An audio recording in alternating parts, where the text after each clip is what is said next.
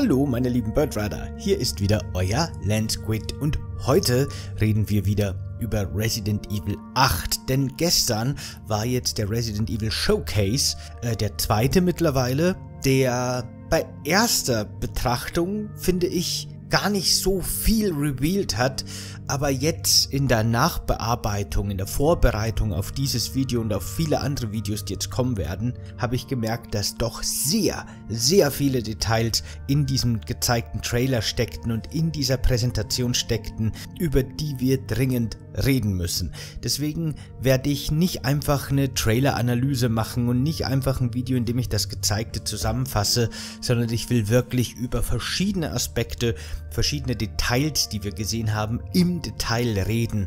Deswegen muss ich fast mehrere Videos machen, das passt gar nicht alles in eines. Für den Anfang möchte ich mal über ein Detail reden, das mich wirklich sehr gefreut hat bei dieser Präsentation, und zwar über The Mercenaries. Resident Evil 8 kriegt einen Söldnermodus, einen Mercenaries-Modus, genau wie er schon in Resident Evil 4 war, nur aufgebohrt, erweitert und ich finde wahrscheinlich auch verbessert, wenn wir uns das mal im Detail anschauen. Grundsätzlich, falls ihr den Mercenary-Modus aus Resident Evil 4 oder Resident Evil 5 nicht kennt, das Ganze funktioniert im Grunde so, dass ihr das Spiel mit einem Charakter, den ihr euch aussuchen oder auch freischalten könnt, startet und dann startet ihr quasi in einem Abschnitt aus dem Hauptspiel, das in eine Arena umgebaut ist. Und in dieser Arena müsst ihr so schnell wie möglich so viele Gegner wie möglich töten. Und das macht ihr so lange, bis der Timer oben abläuft, auf Null steht und dann werden eure Punkte addiert und ihr bekommt euren Endpunktestand. Und wenn ihr gewisse äh, Hürden erreicht, dann schaltet ihr neue Level oder neue Charaktere frei. Soweit wenn ihr gewisse Bonusgegenstände in den Map sammelt oder Kombos landet, also mehrere Gegner in kurzer Zeit tötet, wird euch zusätzliche Zeit in euer Zeitkontingent äh, angerechnet, damit ihr mehr Punkte erreichen könnt. So viel zum ursprünglichen Mercenaries-Modus. Und grundsätzlich vom Grundprinzip her sieht es so aus, als würde The Mercenaries für Resident Evil 8 ähnlich funktionieren. Fraglich ist aktuell noch, ob man für Resident Evil 8 tatsächlich mit verschiedenen Charakteren spielen werden kann oder ob nur Ethan Winters ein spielbarer Charakter ist, da der Titel des Modus allerdings The Mercenaries ist. Plural gehe ich davon aus, dass es auch mehrere Charaktere zum Freischalten geben wird, oder? Das wäre sonst irgendwie komisch. Ganz kurz nebenbei, auf dem Bild von The Mercenaries sind im Hintergrund Reiter eingeblendet. Schattenhafte, vielleicht mutierte Werwolfwesen, vielleicht auch noch sehr menschliche Wesen, ich weiß es nicht, die auf Pferden sitzen und Waffen schwingen. Gibt es solche Gegner wirklich im Spiel? Das wäre irgendwie ein bisschen cool, oder? Aber ich weiß auch nicht. Naja, gut, egal. Bleiben wir mal bei The Mercenaries. Über die ganzen vielen neuen Gegner und Figuren und Personen, die uns revealed wurden in dem Trailer, äh, reden wir in einem separaten Video. Also gut, The Mercenaries. Äh, ihr sammelt also Punkte und holt euch Bonuszeit. Ursprünglich war es aber so, dass wenn die Zeit ausläuft, dann ist quasi das Spiel beendet. Dann habt ihr das Spiel abgeschlossen, wenn ihr überlebt bis zum Ende der Zeit und ihr habt euren Punktestand bekommen und Schluss. In The Mercenaries für Resident Evil 8 oder Resident Evil Village ist das jetzt nicht mehr so. Denn hier müsst ihr scheinbar ein Ziel erreichen. Es gibt anscheinend wirklich eine Ziellocation, einen Zielort, einen goldenen Orb, den ihr erreichen müsst. Dann habt ihr das Spiel erfolgreich abgeschlossen, wenn ihr das Ziel erreicht, bevor die Zeit abläuft. Und dann werden eure Punkte nicht einfach nur in einer Highscore festgehalten, sondern eure Punkte werden euch als Währung zur Verfügung gestellt. Und diese Währung könnt ihr dann beim Händler gegen neue Waffen, Ausrüstungsgegenstände und Waffen-Upgrades ausgeben. Sehr ähnlich wie wir das aus dem Hauptspiel von Resident Evil 4 kennen. Und ich gehe stark davon aus, dass die Händlermechanik und die Waffen-Upgrade-Mechanik im Hauptspiel vielleicht ähnlich funktionieren wird, wie sie es hier im Mercenaries-Modus tut, wie sie uns hier vorgestellt wird. Aber das ist nur meine Spekulation an der Stelle.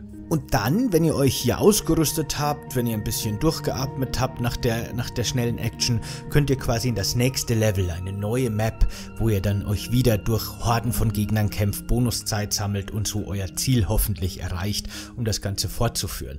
Das klingt echt nach einem ziemlich spaßigen und interessanten und umfangreichen Modus. Ähm, da bin ich wirklich ziemlich gespannt drauf. Zusätzlich gibt es auf den einzelnen Karten dann noch blaue Kugeln, blaue Orbs, die könnt ihr aufsammeln und euch Spezialfähigkeiten dafür nehmen. Also zum Beispiel mehr Lebensenergie oder schnellere Laufgeschwindigkeit oder besseres Blocken. Ähnlich wie im Raid-Modus von Resident Evil Revelations haben die Gegner einen Gesundheitsbalken. Somit kann man sehr gut abschätzen, ob man die Gegner schon getötet hat oder nicht, was für diesen schnellen Modus ziemlich nützlich ist. Ich könnte mir sogar vorstellen, aber ich weiß es nicht, dass es vielleicht sogar spezielle Gegnervarianten nur für diesen Modus geben wird. Besonders starke und große Versionen von Standardgegnern beispielsweise, ähnlich wie im Raid-Modus. Es ist echt witzig, weil ich habe vor kurzem doch noch ein Video drüber gemacht, dass eine Kombination aus Mercenary und Raid-Modus der perfekte Zusatzmodus. In, in dem Video habe ich es als Multiplayer-Modus betrachtet, aber auch im Singleplayer der perfekte Bonusmodus für Resident Evil wäre. Und scheinbar haben die das jetzt wirklich so ein bisschen gemacht. Finde ich cool. In manchen Screens werden Ziele eingeblendet, wie zum Beispiel besiege 15 Gegner. Darunter ist allerdings ein Counter, der uns anzeigt, dass es insgesamt 30 Gegner zu töten gibt. Gut möglich, dass 15 Gegner hier die Mindestanforderung ist und wenn man dann noch Zeit übrig hat, kann man quasi noch mehr Gegner töten, um sich noch mehr Währung zu erspielen. So denke ich mal, dürfte das wahrscheinlich funktionieren. Sehr interessant ist auch, dass wir in dem Trailer zum Mercenaries-Modus sehr viel neue Gegnertypen sehen. Und ich werde zu diesen Gegnertypen aus dem Trailer und aus dem Mercenary-Modus ein eigenes Video machen, denke ich. Ich glaube, das lohnt sich. Ich werde mir das nochmal genauer anschauen, aber ich glaube, das lohnt sich, sich hier die ganzen verschiedenen Gegnertypen genauer anzusehen, weil einige von denen uns vielleicht sogar Details über die Story und die Welt, in der wir uns hier in Resident Evil 8 befinden, verraten könnten.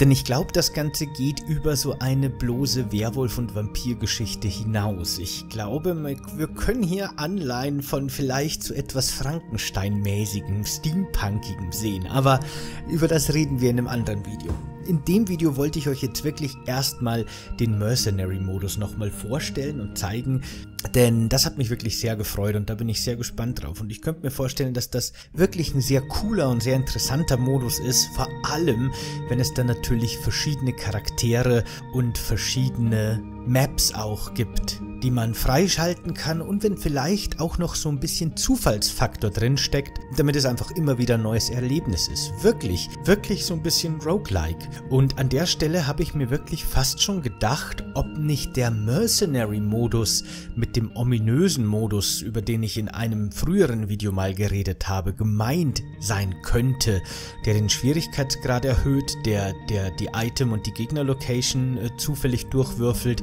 aber ich glaube nicht. Ich glaube, der Mercenaries-Modus ist ein separater Modus, der mit dem, der mit dem, ja, Randomized Resident Evil 8 Modus nichts zu tun haben wird. Ich glaube, das sind zwei getrennte Modi voneinander. Zumindest wenn man den Gerüchten glaubt, die ich gelesen habe über diesen anderen Modus, klingt das sehr anders. Naja, ich bin auf jeden Fall wirklich gespannt auf den Mercenaries-Modus. Das klingt nach was, das sehr lange sehr viel Spaß machen könnte, wenn die richtigen Designentscheidungen getroffen wurden und das Ganze wirklich langzeitmotivierend ist. Äh, dann könnte das schon echt cool sein. Was haltet ihr davon? Was sagt ihr dazu? Findet ihr den Modus cool? Habt ihr euch gewünscht, dass The Mercenaries zurückkommt? Findet ihr es gut, dass jetzt auch eine Progression zwischen den einzelnen Maps tatsächlich stattfindet? Oder hättet ihr lieber gern diesen alten arkadigen richtigen Modus wieder, so wie es früher war. Ein Level nach dem anderen und fertig, Highscore, passt schon. Das könnt ihr mir gerne in die Kommentare schreiben. Ich finde diese übergreifende Progression wirklich sehr cool. Ich gehe mal stark davon aus, dass man die Progression, also die gekauften und die abgegradeten Waffen quasi über die einzelnen Maps hinweg behalten und immer weiter upgraden kann, während aber der Schwierigkeitsgrad auch immer steiler ansteigt und irgendwann kommt man dann eben zu einer Map, die man nicht mehr schafft, dann gibt es einen endgültigen Punktestand und dann beginnt man wieder von vorne. Ich denke, so wird es laufen, aber das ist jetzt auch nur Spekulation, aber so sieht es zumindest aus, wenn man sich alles mal genauer anguckt. Ja, genau, Leute, machen wir jetzt für heute schon mal Schluss mit diesem Video. Die nächsten Tage werde ich jetzt noch einige Videos zu diesem Showcase veröffentlichen und dann ja auch schon bald Videos zu den Demos die Gameplay-Demos, die anstehen, die sehr verwirrend über drei verschiedene Termine und Plattformen verteilt irgendwie veröffentlicht werden. Aber ja, genau. äh, danke fürs Zusehen. Ich hoffe, dieses Video hat euch gefallen. Wenn ja, vergesst bitte nicht, das Video zu liken und abonniert den Kanal, wenn ihr es nicht schon getan habt. Und ihr könnt den Kanal sehr gerne auf Patreon unterstützen. Das wäre mega cool von euch. Und schaut vielleicht auch mal auf Landsquid Bird Rider Let's Play vorbei. Dort findet ihr Let's Plays und Stream-Aufzeichnungen zu unglaublich viel verschiedenen Spielen mittlerweile. Äh, ja, genau. Macht's gut bis zum nächsten Mal und mögen die Tentakel der Tiefe mit euch sein. Ciao!